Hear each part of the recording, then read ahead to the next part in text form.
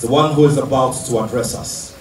He has come to inherit a process which was thorough, a process which looked at the welfare of the police officer scattered everywhere in this country, and a process which sure was going to also create a new vibe around the police service in terms of how officers are housed.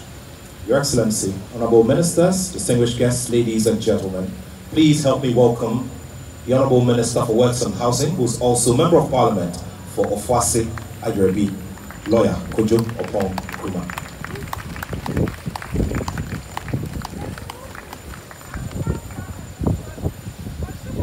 President of the Republic and Commander-in-Chief of the Ghana Armed Forces, Nana Addo Dankwa Akufo-Addo, colleague ministers of state, deputy ministers and former ministers, the IGP and members of the Police Management Board, heads of other security agencies, Nime, Name, distinguished guests, ladies and gentlemen, good morning.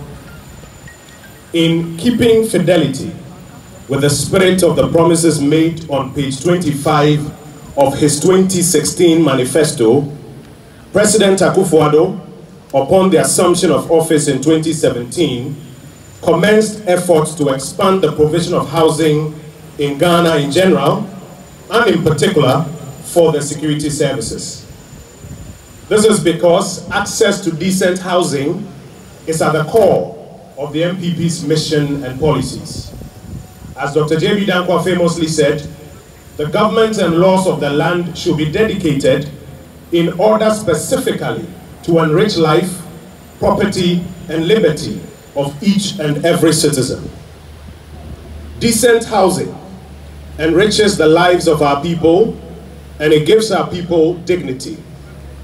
The programs to provide our communities with decent housing create jobs, incomes for hundreds of people, increase in economic activity and growth in the housing sector of the economy, and ultimately develops our communities into well-planned settlements.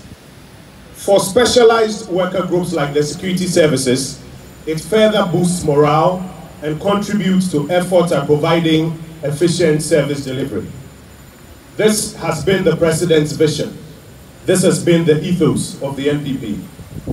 In line with this, the President in 2017 instructed the Ministry of Works and Housing to accelerate housing interventions in Ghana.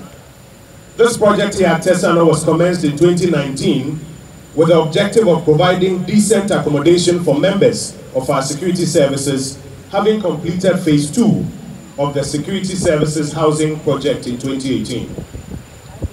The 2018 project, situated at the Eastern Naval Command in Tema, helped to ameliorate the housing challenges confronting the Ghana Navy. It comprised of a fully gated barracks made up of 23 blocks each with 16 flats, giving a total of 368 homes to the Ghana Armed Forces. The barracks also had a multi-purpose sports facility and a playing ground for personnel and families. It was commissioned on the 12th of March 2018 by His Excellency the Vice President, Dr. Mahmoud Bawumia. Subsequent to this, 312 homes, the first phase of the 514 homes that the Interior Minister referred to for the police service were built and commissioned by the President in Kwabenya in 2023.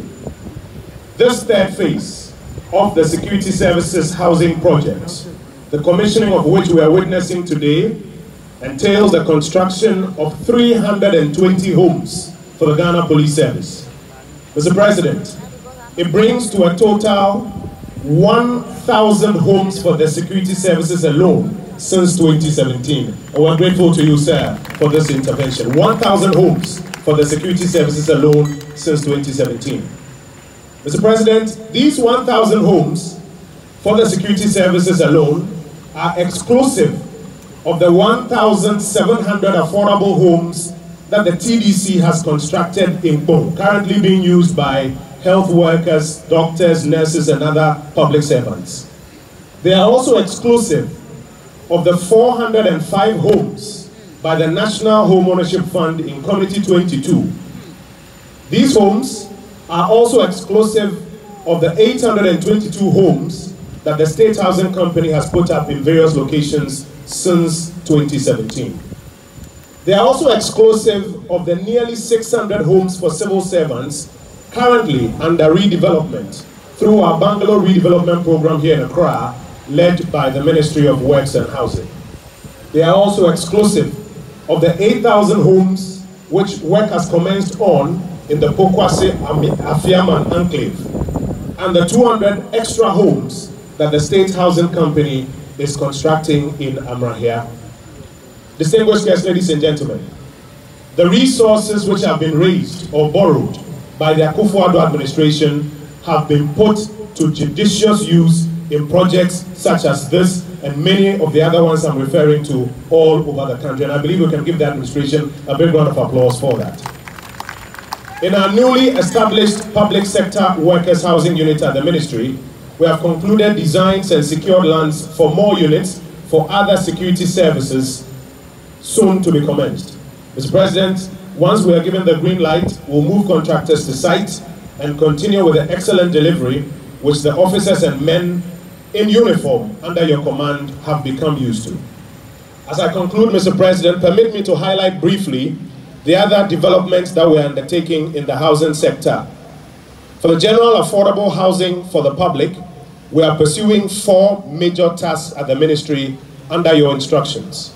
Number one, we are securing funding to complete stalled projects, including the Koforidua Affordable Housing Project, the Saglemi Project, and the Adenta SHC project. Number two, we are fast-tracking work on ongoing projects. Currently, infrastructure works on drainage and road works have advanced, and work on some of the foundations and blocks have commenced in Pokuase.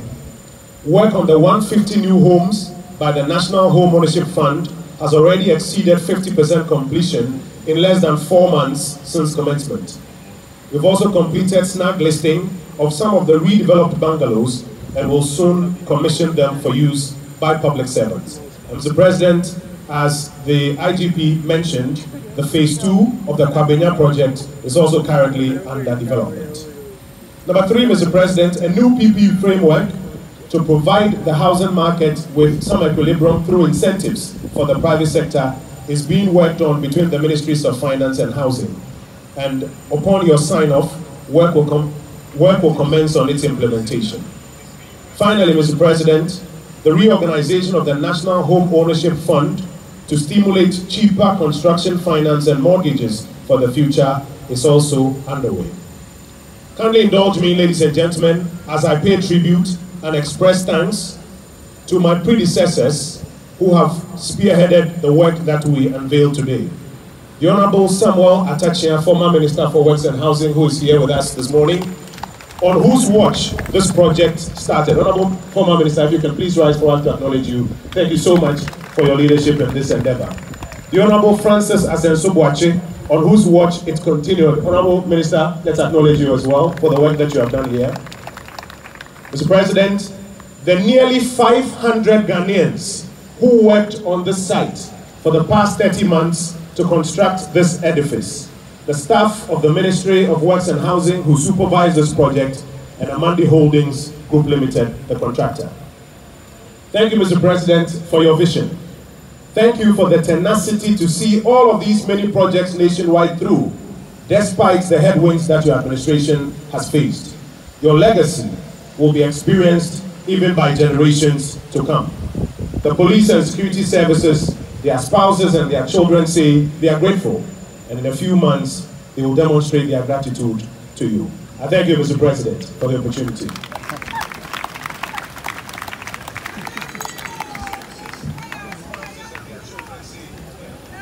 We're also grateful to you, Minister for Works and Housing, Honorable Kojo. In these years, that he has served the nation as its president and commander-in-chief of the Ghana Armed Forces. Anytime we reach such an important milestone, such as commissioning projects as big as these, his demeanor is different and the kind of smile he wears on his face is different. It is purely because of the passion to see us grow as much infrastructure across the centers of this nation.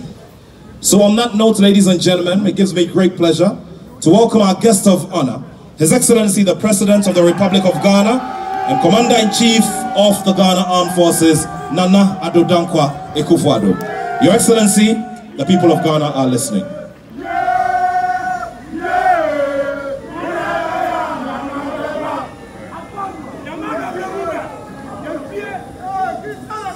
Clergy, Greater Accra Regional Minister, Minister for the Interior, and member of their families enjoying them. Mr. President, that is one of your legacies. We are happy.